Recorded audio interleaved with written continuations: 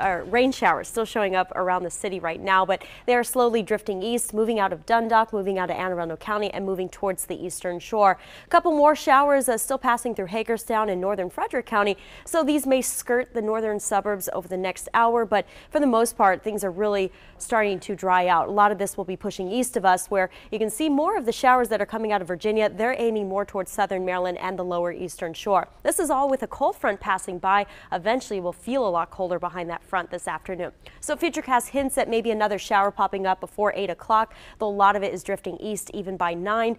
And even uh, by about 10, all of that rain is leaving Salisbury and Ocean City. So we'll dry out this afternoon. The skies will eventually clear for more sun until you get into western Maryland with cold gusty winds building in. Snow showers likely to develop this afternoon, last into the night, really last for the next couple of days out there. Great for the ski resorts. Even the colder pattern next week should allow them to uh, get some new, more fresh snow. Our temperatures, though, around Baltimore starting out in the mid 40s. We'll be briefly topping out in the 50s this afternoon. If you want to get out in the warmest part of the day, try to do it about a noon or 2 p.m. After that, with the winds picking up so much, it's going to feel a lot colder. So by 3 p.m., we're already falling through the 50s.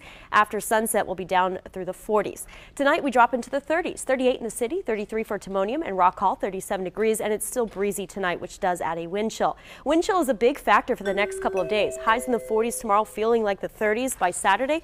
Parts of the day could feel like they're in the 20s because of the winds. At least the weekend is dry. You'll have great travel weather. Sunday looks dry as well. It's into early next week with a much colder pattern. The highs in the 30s, the lows in the 20s. We may see multiple snow showers Monday, Tuesday, maybe even Wednesday. Now